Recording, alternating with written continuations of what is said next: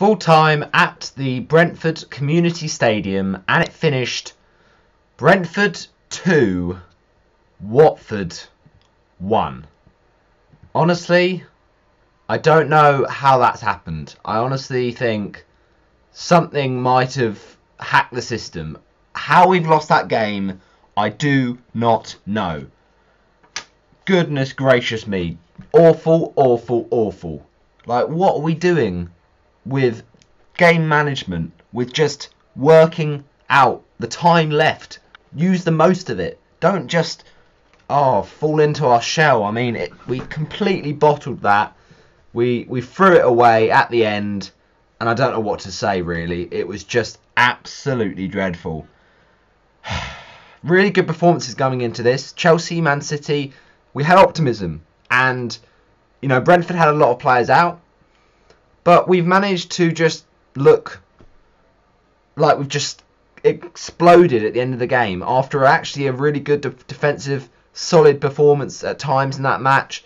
We scored a good goal from Dennis, Dennis the Menace. He's basically Salah at this point, but he's so, so good. 15 matches he's played, because he did miss one of them. And in that time, an unbelievable seven goals and five assists in his debut season. He's the next Nigerian superstar, the next Odion Ighalo. What a player, Emmanuel Dennis. What a signing. Brilliant stuff. Um, yeah, I did my half-time review, but this is the full-time review of Brentford 2, Watford 1. It is just absolutely ruined my whole weekend. I'm not going to lie, people. And I'm fuming because it's all defensive lapses. It's all the fact that our defence right now is not good enough. It's championship quality. And we've got Sierralta and Nicholas and Nkoulou, who are much, much better. And when they're fit, we're not going to be that bad. But William Troost-Ekong, I don't like to call out single players, but I'm sorry, he needs to get dropped. That was not good enough. And I know that people make mistakes, and fair enough, right? He shouldn't be getting the amount of abuse he's getting because, you know, we're only human at the end of the day. But on a football sense of it, he's got to look at himself and say, that is not the player he know he can be. We saw that in the championship. He was fantastic.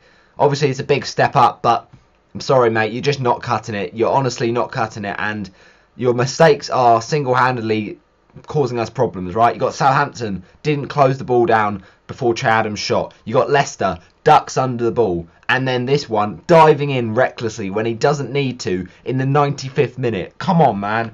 Bit of game management, bit of experience. You've played all those games for Nigeria. Didn't show any of that there, and it is really, really disappointing. So I'm also going to say I'm disappointed by the referee because I honestly thought Michael Oliver had a good one. Fair enough, right? Few decisions to make, but he made most of them well.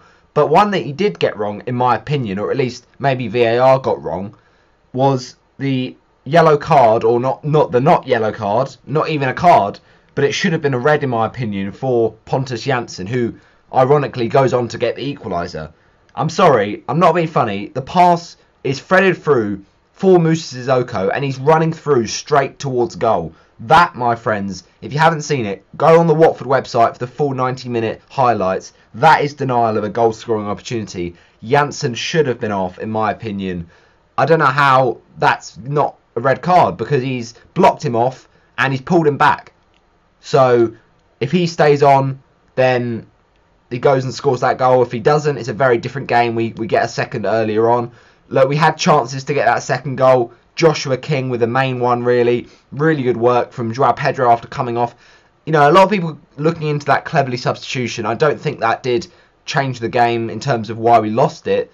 The reason we lost it was our defensive incapabilities. But what we thought was we'd just try and be a bit more solid 4-4-2 in the second half. And yeah, I was fuming. I was absolutely fuming. I mean, let's think about that Jansson goal, right? It is onside by not even half a millimetre. It's just a joke. Kiko's knee is in line with Jansson's foot. I mean, you can't get any closer. So it easily on another day could have been ruled out. And then that preserves our clean sheet, our first of the season. But we're still waiting for that.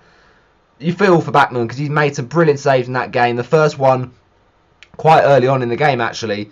Really, really good save. Um, it came to him quickly. You know, the the pass, to be fair, was was a really good one from Brentford, and a miscontrol from Ngakia. He's got to switch on, and Mbeumo just kind of leaves it for the chance for, for Brentford. And it's a really strong shot, to be fair, um, from Brentford. You know, he's he's got to tip tap that over Bachmann because the defence just so hesitant. And Baptiste, good effort, but you can't just sit there and watch. The defence needs to be quicker to react. And Troost-Ekong was honestly so poor, so so poor. He needs to react in the first goal, right? It's not just the second goal he's he's capable for and he's accountable for. The first one, he loses his marker, and we've even got Kiko Femenia there as well. We cannot have two players on the same man that is Pontus Jansson, and neither of them pick him up, and they lose his marker. It's just not good enough.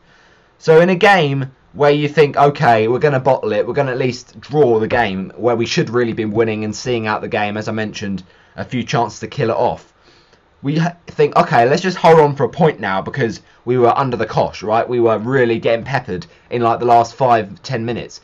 Because when Brentford scored, their tails were up. But we can't even just hold on for a point.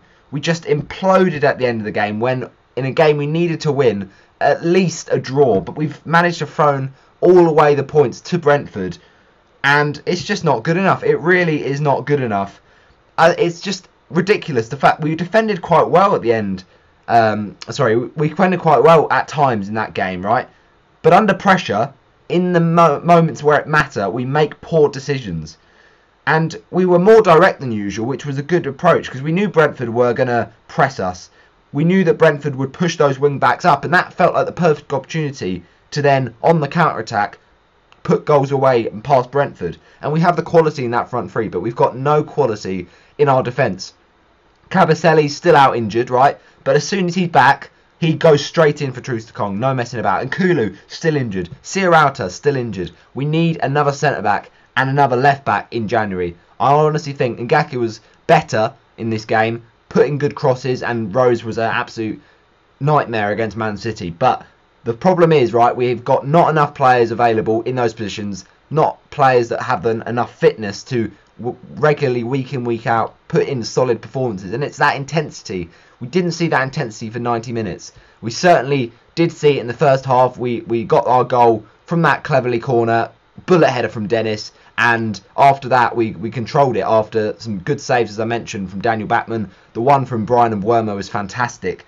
But it feels like we're just starting to have to go back to the drawing board. We play so much better against bigger teams and against smaller teams. As Ranieri said, we were nervous. We make mistakes and we are passing badly. We had a 58% completion rate. That's the lowest in the Premier League this season. So I don't understand why we're so sloppy at times. And Troost-Ekong just desperate, desperate challenge. Doesn't need to make that. Really doesn't. Um, and it's a good cross to be fair from Janelt, who's playing out of position for that um, for that cross, and it flicked on by force. But then the penalty, come on, it's just so sloppy. And Bryan and Mbeumo's never really taken them for Brentford, but he just sits down Bachmann, waited for him to move, and it is disappointing to say the very least. So really need to improve, need to bounce back quickly against Burnley on Wednesday. Man of the match, it's a tough one because, as I said, second half was was not too bad. We should have killed them off, but the last ten minutes imploded. So man of the match, I'll just go for Emmanuel Dennis because he's in great form. But you know, Foster obviously isn't being much of a miss at the minute. Neither is Sarr. Our goals is not the problem, right? Our attack is not the problem. Our problem is William Troost-Ekong.